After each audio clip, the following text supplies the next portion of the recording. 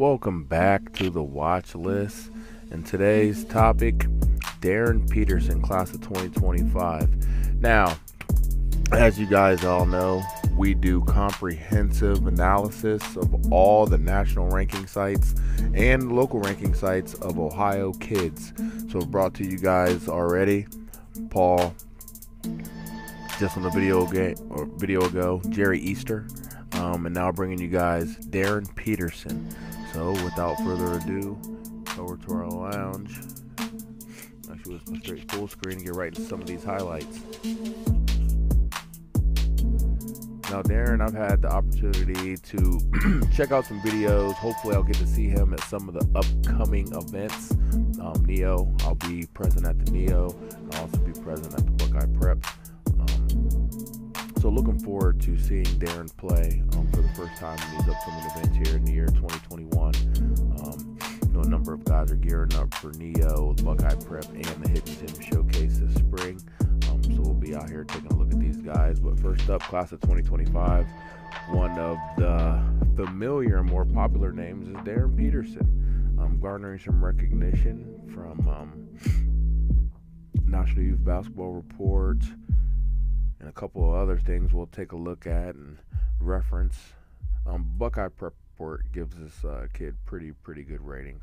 I mean, like his basketball swabby, he has a good good court sense and good court vision. Um, can put it on the floor and score, and as you see, he is a good passer. So, um, just looking to see how he develops in the upcoming years. Um, getting ready to make his transition into high school.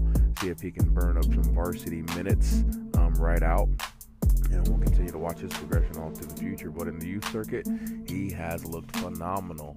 Moving on with Darryn Peterson. See if we have him on the Coast to Coast Preps. Coast to Coast Preps, I don't believe, has our guy, Darryn Peterson. Um, National Youth Basketball Report um, is reporting Darryn Peterson to be a five star prospect. And the 2020, 2025 version of James Harden is what they're calling this kid a walking bucket. So, um, like we saw, dude definitely has a knack for the ball, he has a knack for scoring, and he has an excellent court IQ. Um, over here again, you guys can check out Buckeye Prep, um, bringing you guys all local players, ballers, phenoms, prodigies, guys to watch as well as sleepers. Um, so they are they're usually spot on. So we have a number um, of guys around Ohio that have been doing this for quite some time. So it's always good to see when these kids are able to get a consensus um, from a number of different sources and professionals, um, experienced guys scouting that have seen talent year in, year out, decade in, decade out. Um, guys that have still been around since I was a kid, you know, and I'm 39 now. So um, these guys have seen talent and they definitely know what they're talking about. So um, jump on Buckeye Prep, you know, check out their news, rankings, and read up on um, this Peterson kid right here. Did not see uh, Darryn make an appearance, unfortunately, on looks to be Naismith National All American Youth Report. And he is not mentioned on middle school elite either. Um, but as we discussed, definitely one of the top prospects, a guy we will be getting out to see in the near future.